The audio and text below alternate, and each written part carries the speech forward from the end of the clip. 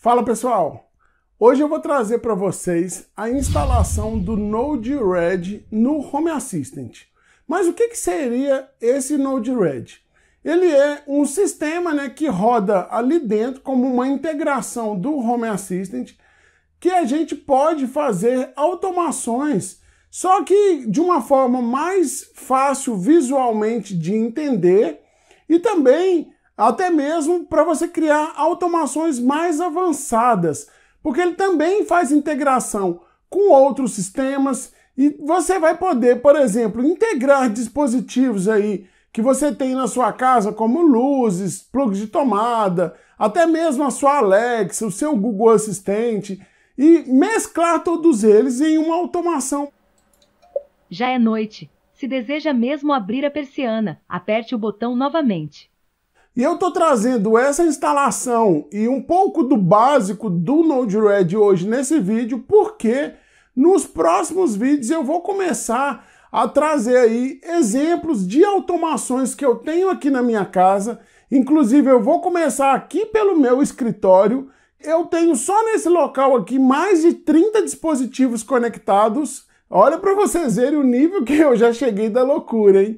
Mas é o seguinte, eu tenho muitos dispositivos, muitas automações, algumas automações mais básicas, mas eu tenho algumas mais avançadas e todas elas eu uso o Node-RED para que elas funcionem aí no meu dia a dia.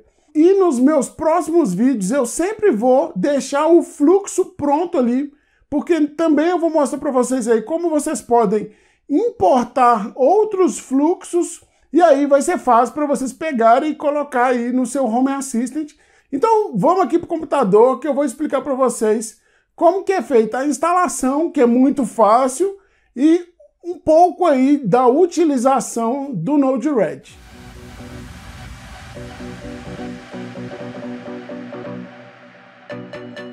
Então eu já estou aqui no Home Assistant. Primeiramente, o que, que a gente vai utilizar aí de dispositivos para a gente fazer algumas automações utilizando o Node-RED. E aqui eu tenho um botão de ação da Sonoff, um sensor de temperatura e umidade da Smart e um sensor de movimento da Cara. Eu até peguei esses três aí de marcas diferentes, né? Porque todos nesse caso aqui estão utilizando ali o Zigbee 2MQTT, mas só para deixar claro que não é obrigatório que você utilize só dispositivos Zigbee, tá? No Home Assistant você vai ter uma infinidade aí de marcas diferentes, de produtos tanto Zigbee quanto Wi-Fi, que você vai poder utilizar aí na automação, tá? E também eu tenho aqui esse roteador Wi-Fi, ele é Google, então ele tem um Google Assistente, mas também você poderia utilizar a sua Alexa, caso você tenha ela integrada no Home Assist, tá bom? Então aqui é mais para demonstração. Além disso, eu tenho uma luz aqui no fundo, que também a gente vai utilizar para criar alguns cenários aí baseado em ações dos sensores. Então, primeiro a gente vai fazer a instalação do Node-RED aqui no Home Assistant. Você vai vir em Supervisor, procurando aqui na loja, procura Node-RED. Basta você fazer a instalação. No meu caso, já está configurado aqui, mas o que você precisa assim que você faz a instalação? Primeiramente, você vai marcar para que ele inicialize junto com o Home Assistant. E também você vai precisar marcar essa opção aqui, ó, mostrar na barra lateral. Então ele já está até aqui, ó. Em configuração, tem duas coisas interessantes que você tem que mudar. Tem aqui, ó, Credential Secret, que você vai colocar um password qualquer que você queira aí, tá? Eu coloquei esse aqui só como exemplo. E aí você tem que mudar também aqui, ó, em SSL você coloca false, porque ele vem como padrão aí como true. No nosso caso, eu não tenho SSL nessa instalação do Home Assist, então por isso vai ficar como false. E aí você manda aqui inicializar o Node-RED. Você pode conferir aqui no log se está tudo ok. Pronto, já está mostrando que está conectado. Eu vou vir aqui nele, ó, Node-RED. E aqui você tem várias abas que você pode criar outras, quantas você quiser. Às vezes você pode separar por cômodos, você pode selecionar por é, dispositivos específicos, fica a seu critério como você vai fazer essa separação aqui das abas. basta você clicar duas vezes e colocar um nome. Vou colocar aqui que esse nosso vai ser testes. Idôneo. E desse lado esquerdo, a gente tem aqui os nós. Tem vários tipos diferentes de nós, por padrão ele já vem com alguns. Você pode adicionar vários outros, que seria por aqui, ó, você vem nesse menu, você vem aqui no gerenciamento, e aí tem os nós. Mostra aqui quais os que estão instalados, e você pode instalar novos. Basta você procurar, por exemplo, procurar aqui um de timer qualquer. E aí ele vai instalar alguns nós para vocês. Infelizmente tudo é em inglês mesmo, tá? Aqui desse lado tem todos os fluxos. Se você abrir, mostra o que, que tem em cada um deles. Tem aqui a documentação e aqui tem o debug, que a gente inclusive vai utilizar ele daqui a pouquinho, tá? Então vamos começar criando um primeiro fluxo. O que, que eu vou simular? Uma detecção de movimento e aí ele acende uma luz específica e aí, primeiro, a gente vai pegar qual o estado que está aquele sensor de movimento. Eu vou até virar ele aqui, ó. E aí a gente vai pegar aqui, ó, eventos estado, né? Basta você arrastar, você clica duas vezes. Eu vou colocar aqui o nome, por exemplo, ó, se houve movimento. É interessante que você coloque bem esses nomes, tá? Para quando você pegar um fluxo, você entender ali qual a dinâmica que está acontecendo nele. Nesse caso, eu vou utilizar uma entidade, aí eu vou selecionar aqui, ó, movimento. Tá aqui ó, um sensor binário de movimento. Se você não souber o nome, basta você ir lá nas configurações do Home Assistant, entidades, tá? E olhar o nome dela. E nesse caso, o que, que eu preciso? O estado dela vai ser on. Por quê? Quando detecta movimento, esse sensor binário ele vira on.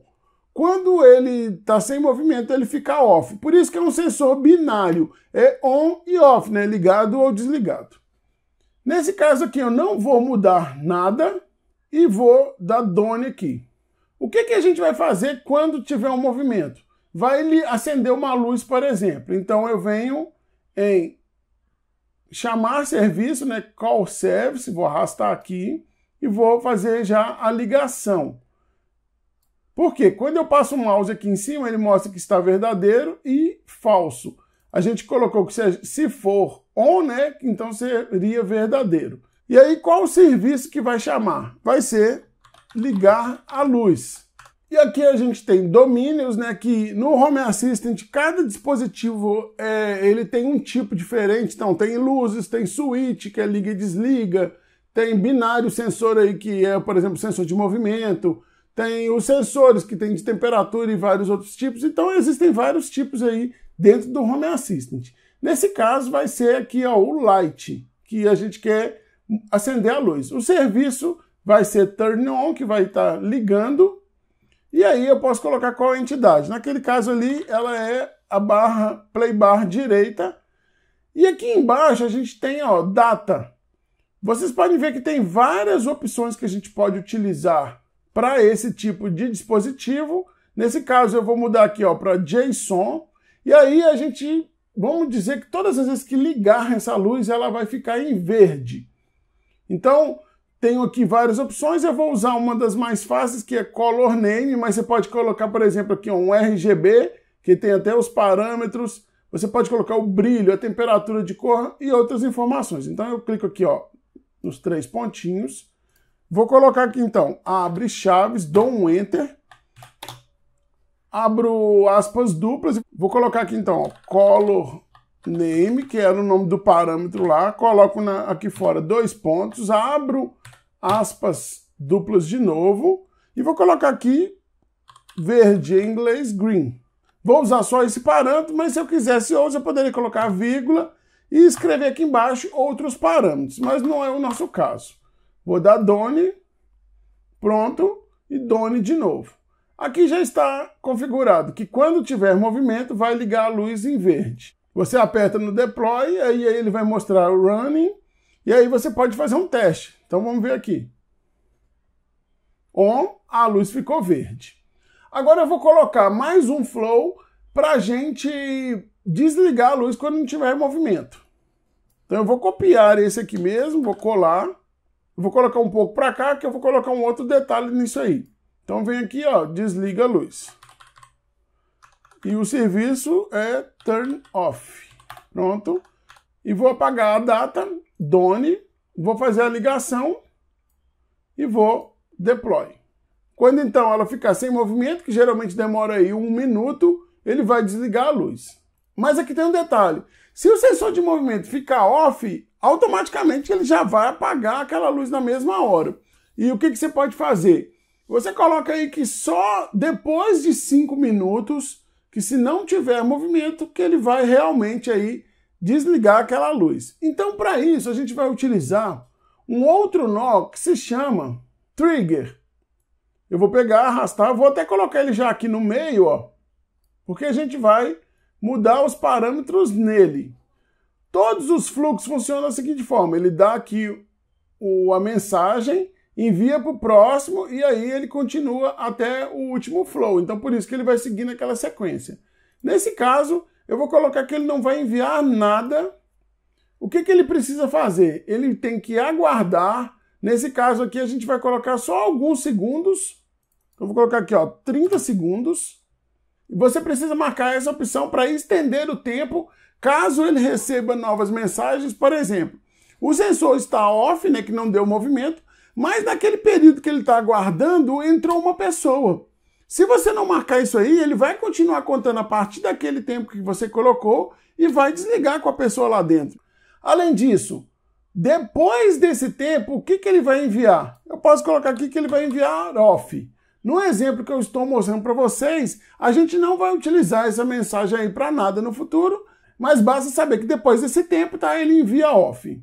E aqui, ó, para resetar o trigger, a gente vai colocar que tem que receber um payload igual a on.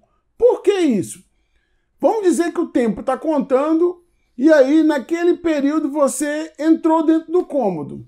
Então o sensor de movimento vai mudar para on e aí é, ele continuaria contando aquela mensagem e no final ia desligar. Se ele recebe um on, ele zera aquela mensagem e aí a luz continua acesa e aí não tem perigo dela apagar. Aqui no caso eu vou colocar o nome, nesse caso aqui, ó, aguarda 30 segundos, mas lembrando que você pode colocar o tempo que quiser, tá? Então eu vou dar done. Mas aí tem um outro detalhe. Se a gente configurou aqui para ele receber um on e ele resetar, o que, que você vai ter que fazer? A gente vai pegar aqui o on e arrastar para cá também. Deixa eu até arrumar isso aqui melhor, ó. Tá aí, ó. Então, quando ele receber o off, ele vai aguardar os 30 segundos e depois ele desliga a luz. Quando ele recebe um on, se tiver contando esse tempo, ele vai resetar e não envia nada, né? Por isso que ele não vai desligar a luz no caso do on. E automaticamente, né, ele liga a luz aqui também. Então eu vou dar um deploy e vamos fazer aqui uma simulação. Primeiramente, eu vou fazer movimento. Tá lá ligou. Agora a gente vai aguardar o sensor mudar para off, aqui, ó. Porque vocês vão ver que vai aparecer um quadradinho azul aqui, que significa que esse timer está contando. Pronto, acabou de mudar para off. E aqui já ficou aparecendo esse quadradinho azul, que significa que esse timer está correndo. E aí eu vou esperar mais esses 30 segundos só para a gente confirmar que a luz vai desligar. Pronto, funcionou perfeito. Agora eu vou fazer uma outra simulação para a gente ter certeza que se ele estiver contando o timer e eu der um movimento, ele vai cortar o timer na hora. Então, movimento dado, aguardando de novo. Tá aqui, ó, ficou sem movimento, já apareceu ali o quadradinho azul. E aí eu vou dar movimento no sensor para a gente ver que vai cancelar esse timer. Então, ok. E tá ali, ó, já sumiu. Funcionando perfeitamente. Então aqui ficou da seguinte forma: deu movimento, acende a luz. Ficou sem movimento, ele aguarda 30 segundos e só assim ele vai desligar a luz. Mas se naquele período dos 30 segundos tiver movimento de novo, automaticamente cancela o timer e aí ele vai acender a luz ou então manter a luz acesa para que não tenha ali o perigo de, de apagar naquele momento. E para a gente completar esse exemplo, você, eu vou colocar para que o Google fale uma mensagem quando a luz apagar, Ou então você poderia também utilizar uma Alexa, né, caso você tivesse com ela integrada no seu Home Assistant. Tanto faz, tá? Isso aí independe. Aqui é só para exemplo. E aí vai funcionar da seguinte forma: ficou sem movimento, o Google avisa é, luz desligada. O que que precisa aqui? Primeiro eu vou chamar de novo um serviço, vou dar duplo clique, vou colocar aqui, ó, fala luz desligada. O domínio no caso é o TTS e o serviço vai ser o Google Translate nesse caso. Existem vários outros serviços aí. No caso aqui, por exemplo, eu uso do Nabu, tem o Watson da IBM. Se você colocar Alexa, vai aparecer outro serviço. Então tem vários que você pode usar. E aqui a entidade vai ser Media Player. Nesse caso, eu tenho só esse nesse Home Assistant. Aqui embaixo eu vou ter que utilizar uma data. Então eu coloco aqui, ó, JSON. E aí tem a opção aqui, ó, mensagem. Então eu vou colocar isso aí. Chaves, dou Enter, aspas duplas, mensagem, né? Dois pontos, aspas duplas de novo e coloco luz desligada.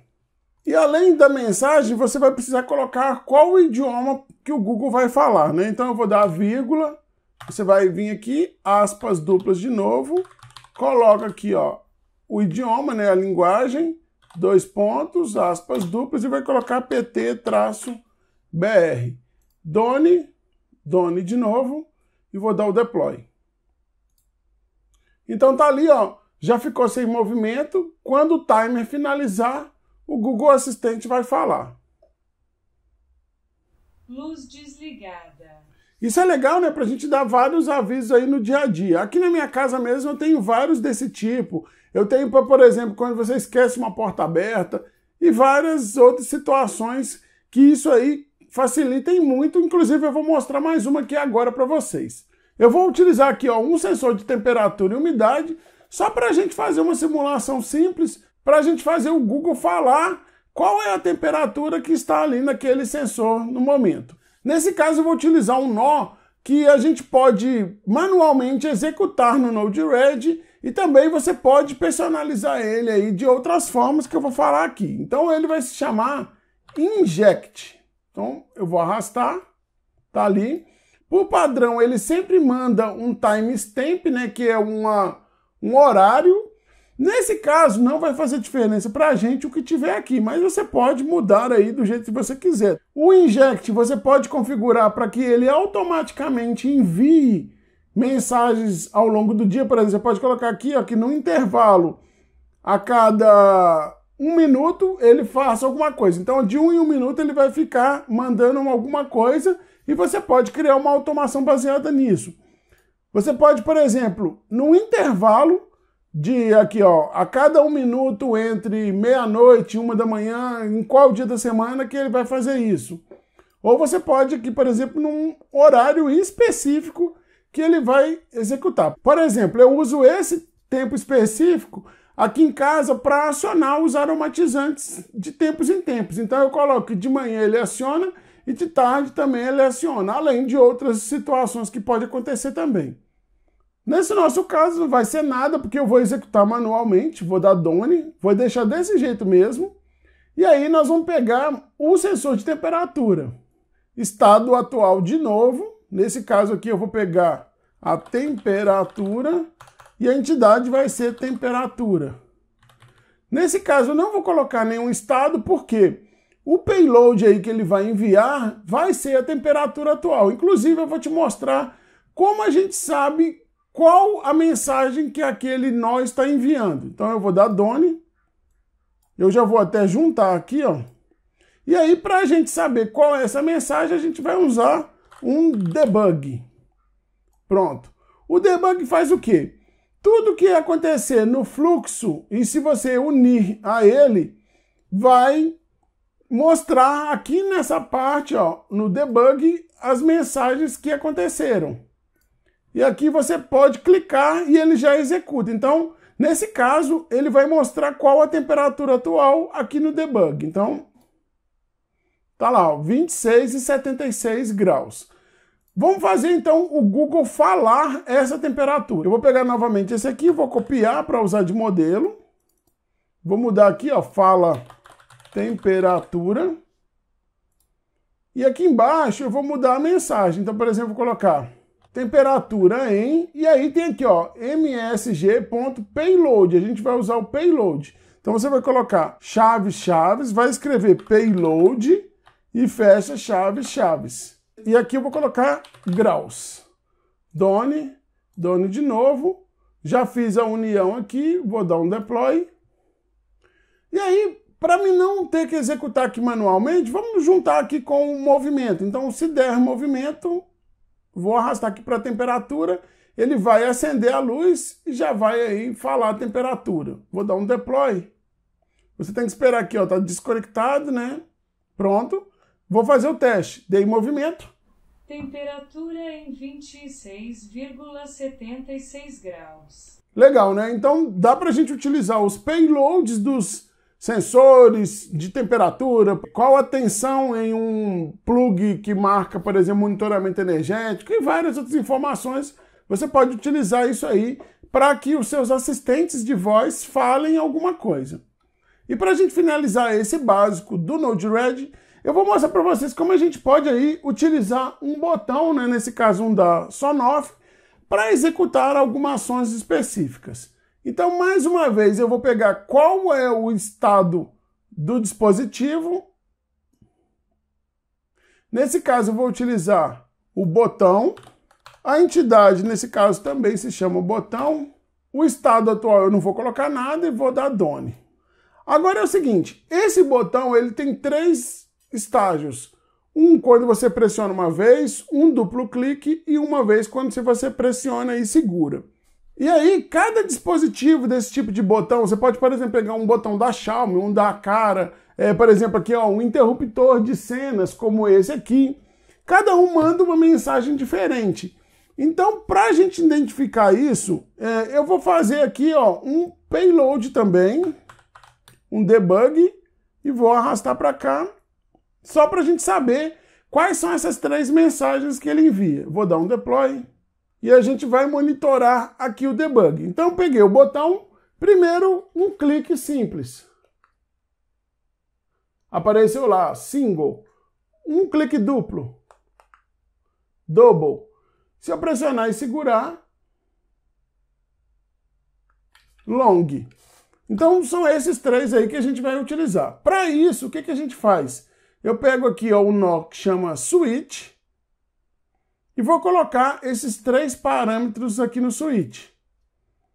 Então, primeiro tem ali ó, o single, vou adicionar o double e por último o long. Done e vou arrastar para cá.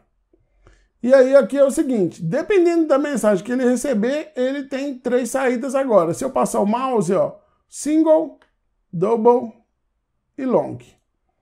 E vou fazer três ações aqui quaisquer. Por exemplo, vou colocar a primeira, ligar a luz, vou copiar esse.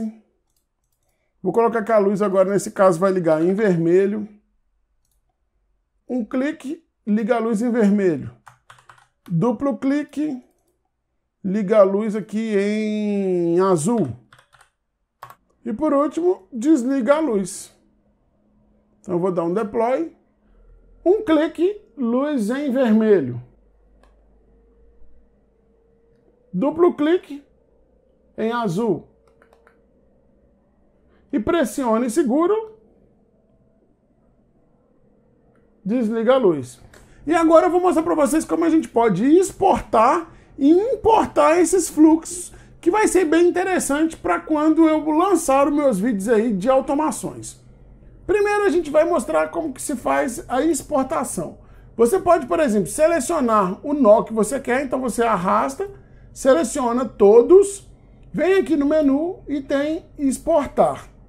Ele tem algumas maneiras, você pode fazer um download ou copiar para a área de transferência né, e colar em qualquer outro lugar aí, num editor de texto. E nesse caso eu já vou copiar para o clipboard. No caso da importação, eu venho, por exemplo, aqui no Flow 3, que ele está vazio, venho em importar, você vai ter lá o texto que você pegou de outra pessoa, por exemplo, você vem aqui e cola.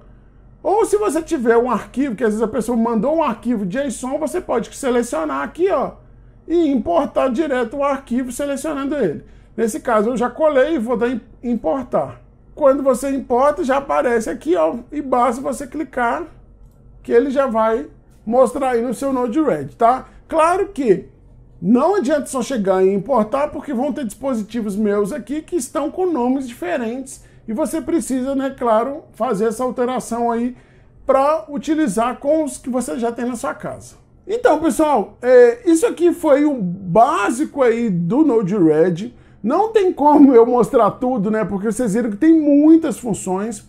Mas como eu falei, isso aqui é para ter uma base, porque eu vou fazer alguns vídeos aí das minhas automações aqui em casa. E aí eu acredito que seria interessante que pelo menos vocês conhecessem o básico do básico do Node-RED, para quando vocês importarem lá as minhas automações, vocês começarem a entender aí o que eu faço aqui na minha casa, tá bom? Então é isso, pessoal. Se gostou, não esquece, deixa o seu like, isso me ajuda muito. E se é a primeira vez que está por aqui, já se inscreve no canal. Abraço, galera. Até mais e tchau.